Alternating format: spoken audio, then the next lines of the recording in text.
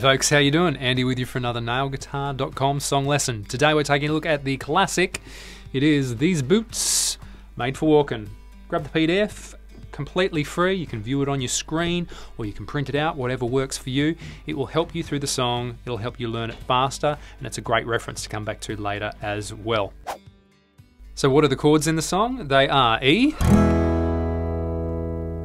A, and G. That's it, three chords.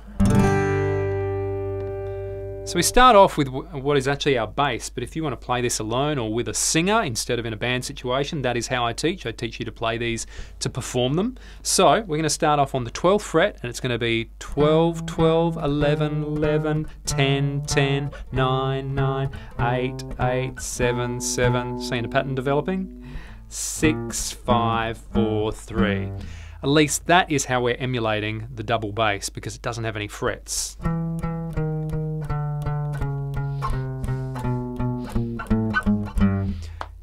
And it's a very iconic part of the song, so you want to be playing that if you are playing the song solo. So we start off with our E chord, that is the key of the song, it's in E, so it's our home base. And we get down, down, down, up, down, or down, down, up, down. I'm going to give you that second variation. Just want to give you two possibilities there so you can mess around with it if you would like to. So if we sit on our E chord, that's going to be the, the vast part of our verse. It's going to be down, down, up, down, down, down, up, down. Let's try it with the chord. One, two, three,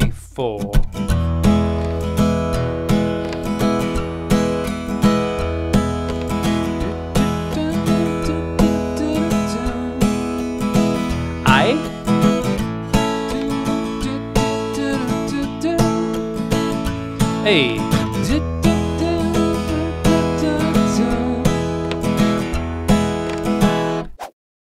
Now a chorus. It's going to be G to E. So I'm going to slow this down a little bit because it's a little bit busier.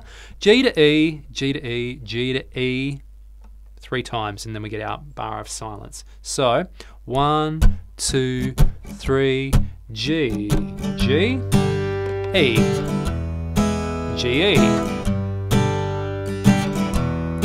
G, E.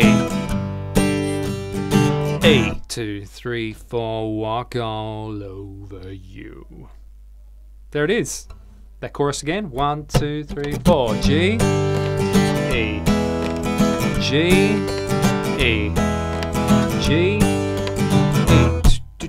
Walk all over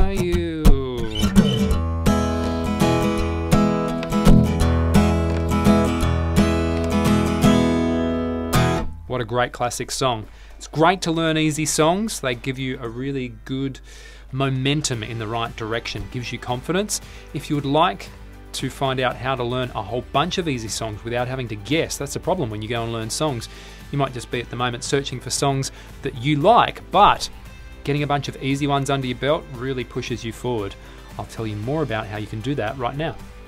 Save countless hours searching for easy songs to learn and download my Easy Songs cheat sheet. Click the link in the description now to get it absolutely free.